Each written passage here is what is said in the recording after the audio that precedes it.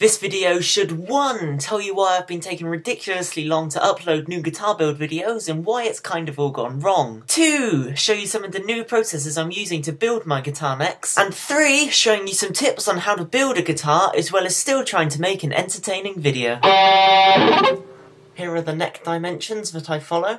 And first, to see if I can build two guitar necks out of this one piece of wood, I need to build a cutting template, which is basically just an oversized square neck template that I can draw around and easily cut. I see that I can get two out of this one bit of wood, so I can start cutting.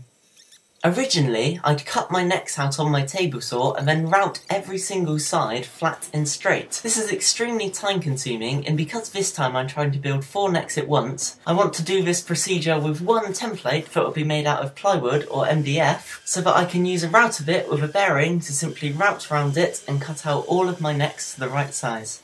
So here are the processes I did use to build my old necks that I'm going to use to build my new master template.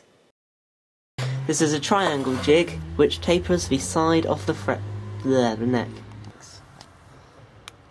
No. So what I've done is take a piece of softwood, it's about three quarters of an inch thick. If it worked, I would have run it through my table saw, but because my table saw is far too inaccurate, I've used my router table to route off all of the sides flat in accordance to this diagram.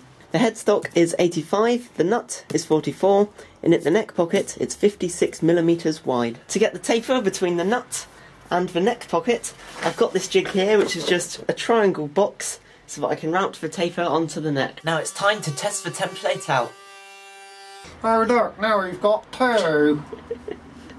Marvellous. Now I can move on to preparing the neck blank before I use this template. We've made an MDF triangle of 17.5 degrees and then placed it on our neck and drew a rough pencil line so we knew where we could rough saw off the headstock. Okay, you take that, now we've sliced it down. The bit of wood at the moment is 30mm thick. The standard neck with fretboard on is 25 and we're going to make this 20. So what we're going to do is saw it down the line with the bandsaw.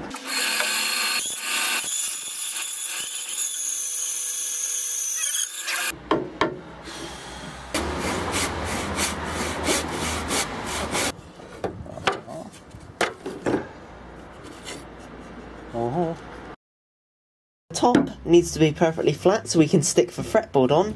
In the back needs to be also perfectly flat so we can use it to locate on our jigs to cut things like the headstock angle and anything that goes on top. So whichever way we put our template, we need the flat bit on both sides. What I've done is wedge it up in my router table so I can route the faces perfectly flat.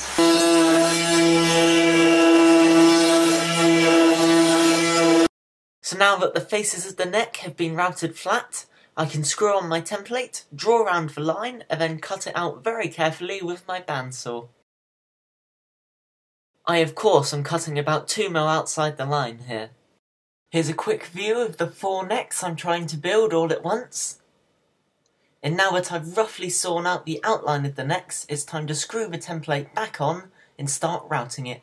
Now what I've done is screw the template back onto the neck, of course on the top where the fretboard will go so there's not going to be any holes in it at the end and what you'd usually have is a router table with the bearing bit on the bottom because it'd be in an upside down router table and you just run it through on your hands like that but because I don't have an underside router table I've just got my standard router table with the bearing in the bottom and I'll just use this with the bearing on the bottom which works exactly the same.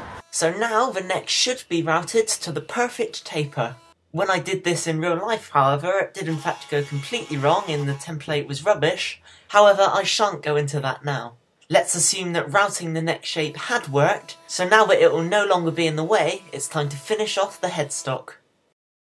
This little triangle jig is used in my router table to route the headstock angles. It's got a slope of 17.5 degrees. This jig must be used to route these little wedges flat before I glue them back onto the guitar neck like I show here. Now we've sliced it down, you can turn it that way and have your... Is it in shot? Wrong. If you glue it on there... It'd be wrong. Oh! yeah, don't glue it on like that, glue it on the bottom so it all lines up. And that's about as far as I got. Ta-da!